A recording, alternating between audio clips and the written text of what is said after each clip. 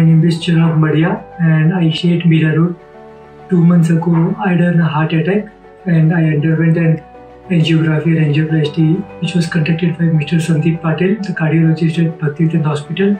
It went off very smoothly and I was discharged within three days. Two months later, I was diagnosed with the with the gallbladder stone and uh, the stone needed the surgery on immediate basis. So we contacted one of the renowned uh, Dr. Dr. BC Shah from Bhaktivedanta Hospital, and he asked us to immediately operate because that if that is not operated on time, then it might it might you know impact the uh, whole system, internally system, which might lead to more complications.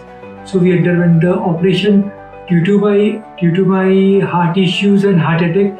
I had to under I, I had to stay under observation for three days which was taken care of by doctors Dr. B.C. Shah and Dr. Sandeep Patel very well. On Monday, I went for my uh, gallbladder removal surgery, which went out pretty well. I was a little bit worried about the overall scenario because of the heart situation, but overall, the hospital, the staff, doctors, they had a great mix and everything went off well. And now I'm uh, absolutely fine. I'm very much happy with and satisfied with the performance of the Bhakti Hospital.